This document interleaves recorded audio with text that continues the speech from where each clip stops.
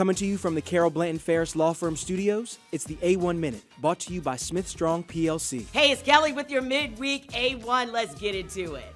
Well, it's an old saying you can't fight City Hall, but many are, and Ken Davis Jr. won his tax battle. When he failed to pay his tax bill because it never arrived in the mail, Davis was hit with an $800 penalty, and the city finance department was not forgiven. So Davis launched a campaign against the city, reaching out to anyone who might be able to help. Following months of calls and emails and the threat of litigation, the city conceded, and Davis got his $800 back.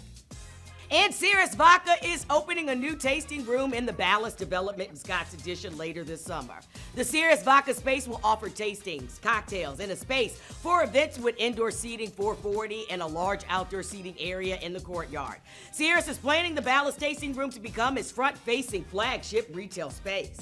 And the Downtown Ashland Association is hosting a song contest inspired by the town's catchphrase as center of the universe. Musicians are invited to submit their songs for their chance at big prizes like gigs on Ashland's biggest stages, radio plays, and label representation.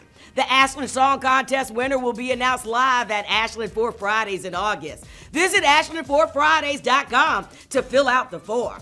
This episode was brought to you by Smith Strong PLC. Be sure to follow the RTD producing stories from the mobile newsroom as it visits different communities each month on Richmond.com.